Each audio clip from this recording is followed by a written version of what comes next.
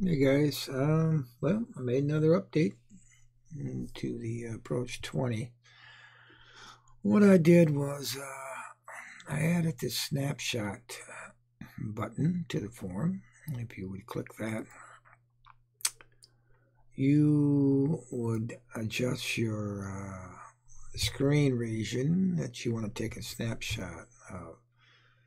So, you know, you're starting 650 pixels to the left, 175 down, and you're going 300 more pixels over to the right, and 150 uh, pixels down from the bottom to draw the rectangle shot. And you just click the take a shot screenshot button, and that will take that region of the screen that you defined here and load it into the image component and also copy it to the clipboard. So um, uh, so you have it saved in the clipboard also.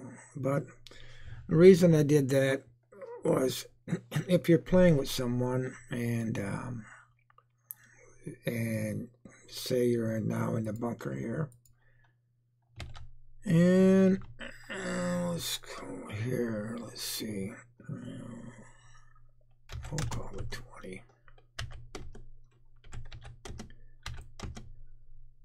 All right.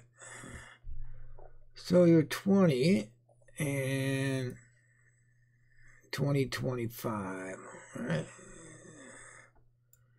So let's look what we have here for the short game. And we don't have one, so what we'll do is um, we'll add it. All right. Mm, 20. I'll keep it the same. 25. Okay. Bunker. All right. So we have that 2025 bunker and we'll take a full shot. Make sure we're there. And we're at it. So since we don't have a shot logged in I'm going to log this one in. Uh, when you hit. So you're playing a game and uh, this allows you to take a snapshot of what happens with Toptracer after you hit the shot so we're not sure what's going to happen here. So we're just going to wing it and see. And we had it at uh, 18 and 5. Yeah, short game. Okay. So we'll just take a shot and we'll just see. We'll hit it 50% first off and see. I'm sure that's not going to be enough, but we'll take it. And now we'll get ready to take the snapshot of what happened. Boom. We click take the snake, uh, snapshot, and we have that here now, what happened. So then the other players would be playing, and um, you know, your Toptracer would have went away. But that gives you time to, uh, well, gives you time to uh, add it, right? So, I'm 21 feet up, and club name was a 64 wedge, and it carried 15 power was 49%, right? So there you have it, you know, and you've uh, you've stored that in your short game while the other players were shooting, right? So that's what I would use the snapshot functions myself for. Um, I'm sure there's other things you can use it for. So, but anyway, you just download the update, and again, it's going to uh, change your setting database back to defaults. So you uh, might want to take a screenshot of these uh, if you made changes to it, and then you can update them back after you do the install. So anyway, that is the uh, screenshot.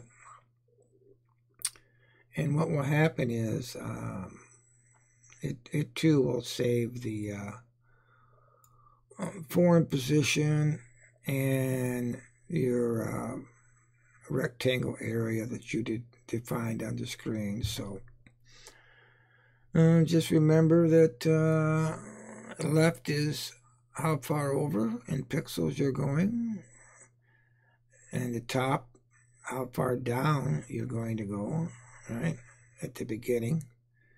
And then the right, how many more pixels do you want? 300, you know, and then uh, how much further you want to go down? 150.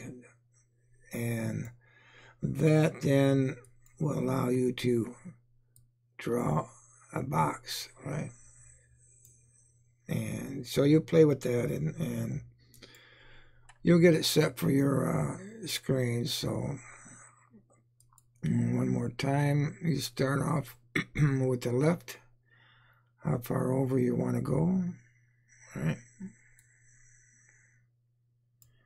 And then how far down is the top. So how far down do you want to go from the top? How much further to the right that you want to go?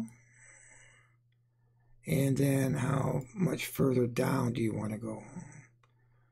So that will connect the rectangle of the screen that you defined here, right? So, and again, when you exit this form and close it down, and if you have to close the program down again and start it up later again, um, you'll see that when you take a snapshot, it's going to position itself where you last selected, along with your screen pixel coordinates that you had saved, right?